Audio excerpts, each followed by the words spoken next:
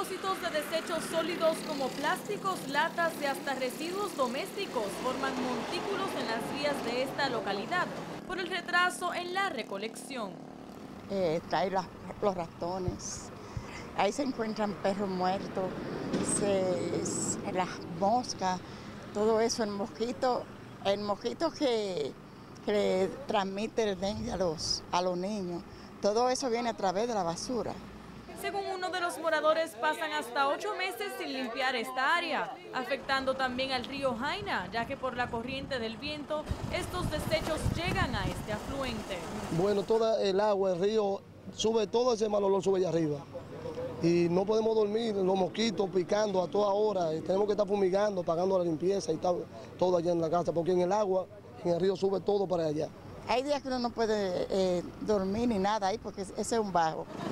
Esto afecta visualmente el área, uno de los problemas más preocupantes es el riesgo en la salud de estos comunitarios. En cuanto a los niños se nos enferman, eh, muchos niños enfermos, nuestra madre también. Eh, hoy mismo le dieron de alta a una joven también que estaba interna a causa de los mosquitos eh, Uno de los más afectados por esta contaminación ha sido José Luis González, pues de los cinco hijos que tiene, tres se han enfermado.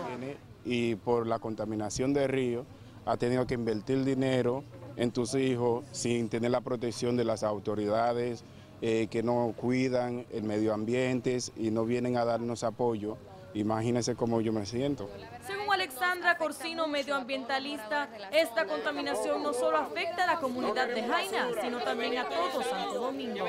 todo el desecho cuando se va eh, descomponiendo, descomponiendo, genera un lixiviado, genera un nivel de lixiviado que es arrastrado por las corrientes de agua hacia el río. Entonces directamente contamina las aguas y esto eh, incrementa mucho el costo de tratamiento, pero disminuye también lo que es la calidad del agua que se sirve en cada una de las casas de nuestro Gran Santo Domingo.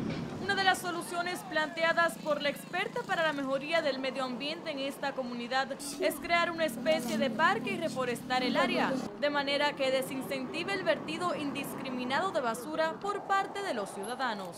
Los comunitarios llaman al ayuntamiento a buscar una solución de saneamiento en esta área que les permita vivir en condiciones dignas y saludables. Yamel Canal Noticias, SIN.